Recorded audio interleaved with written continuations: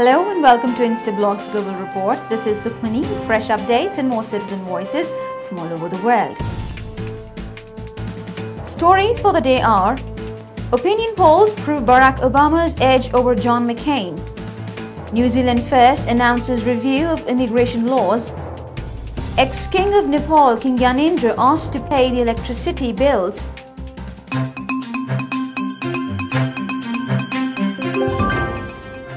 The opinion polls have proven a clear edge for Barack Obama over rival John McCain as both enter the final hours of the longest and most expensive U.S. election campaign in the country's history. CJ Prince Campbell believes the American voter is all ready to punish the Republican Party for their past follies. This is Prince Campbell, citizen journalist reporting from the United States on Instablogs. The American voter, it seems, is all but determined to punish the Republican Party for their past mistakes. President Bush spent the last eight years of his presidency fighting the battle between good and evil, only to leave the office without any signs of victory. His administration's foreign entanglements have led him to neglect economic and social policies in his country. He inherited a surplus budget only to be spent on defense and tax cuts for the rich, leaving a huge deficit as the country entered into a recession. It's a very sad legacy indeed. The long election campaign has tested the character of both candidates, especially when the global economic crisis struck. Barack Obama has won that contest easily. His policy prescriptions, essentially a redistributive tax agenda, were fairer and more responsible than Mr. McCain's panicky pledge of tax cuts. Surely the Democratic candidate has refuted the strongest argument against his candidacy, that he lacked leadership stature.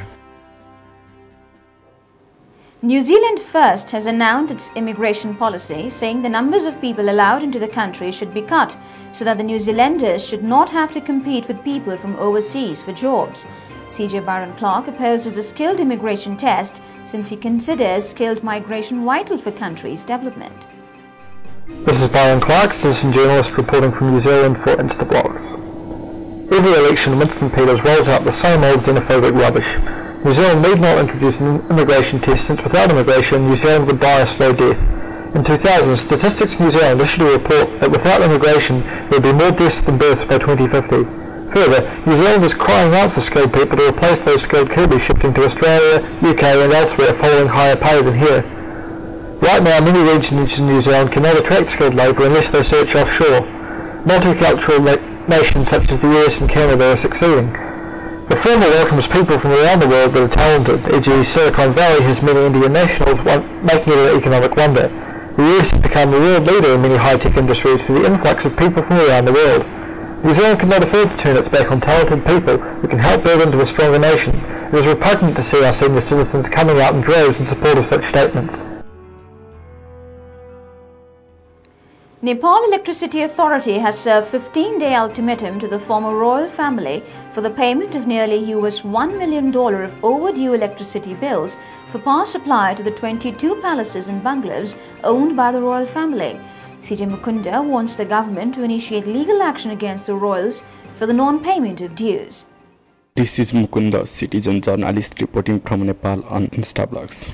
Nepal's former royal family owes the Nepal Electricity Authority nearly US dollar 1 million of overdue electricity bills. Nepal Electricity Authority has given 15 days ultimatum to pay the unpaid huge electricity bills which are supplied to the 22 palaces and bungalows. The company did not say exactly how much the king owed since the government has nationalized at least 7 of those palaces including the main Narayanhiti Palace which Gyanendra left in June after newly elected National Assembly declared the Himalaya Himalayan nation a republic at its first meeting.